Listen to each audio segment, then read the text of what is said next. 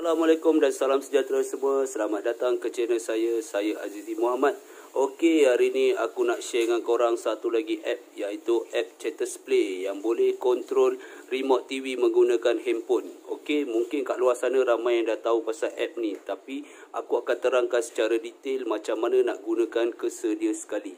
Okey, kepada korang yang belum klik tombol subscribe di bawah, please klik tombol subscribe di bawah supaya korang tak ketinggalan video aku yang seterusnya. Okey, jom layan.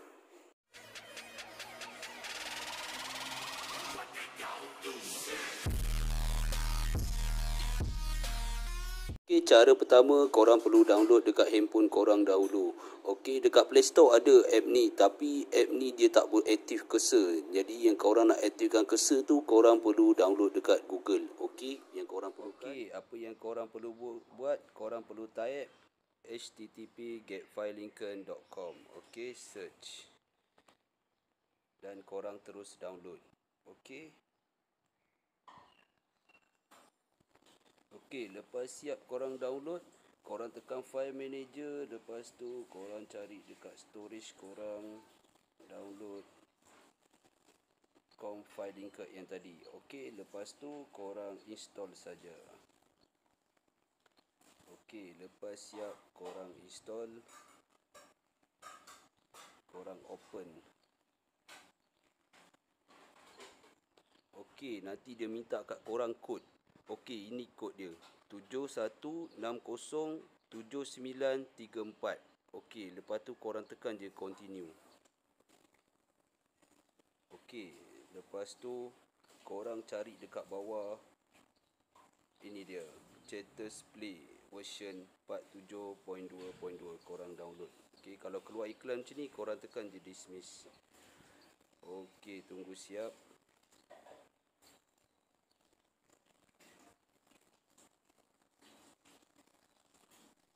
Okey, lepas siap apa yang korang perlu buat, korang perlu tekan play je kat sini. Okey, install.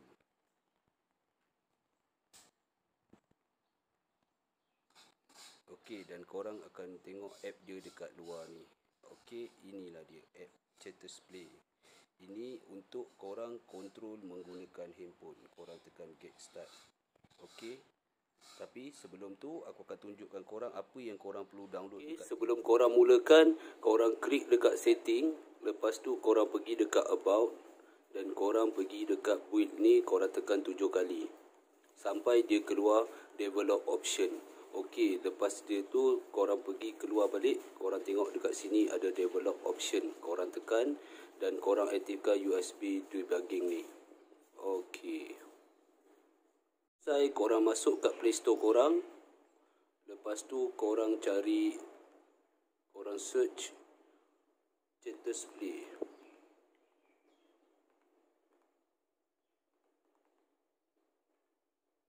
Ini dia app ni.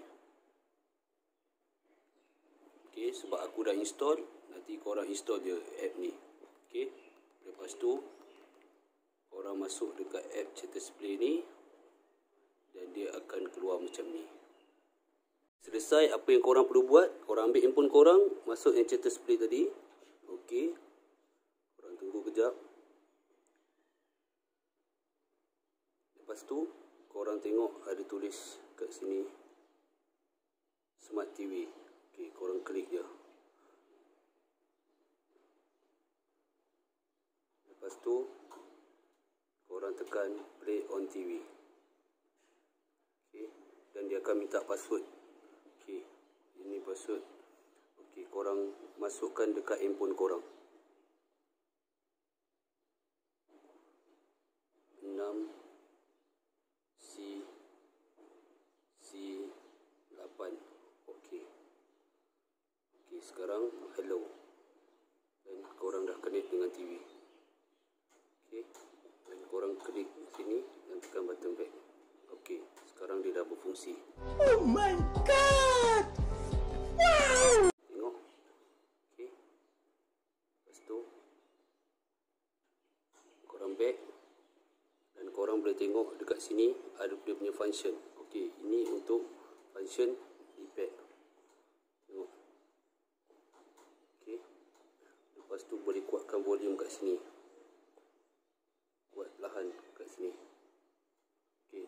Juga boleh tekan button off dekat sini untuk tutup TV. Okey, lepas tu apa lagi fungsi yang dia ada? Korang boleh guna touchpad. Touchpad ni macam korang gerak-gerakkan macam tu. Ha. Korang hanya gerak-gerak macam tu. Okey, ini adalah touchpad. Okey, lepas tu korang klik ni untuk mousepad.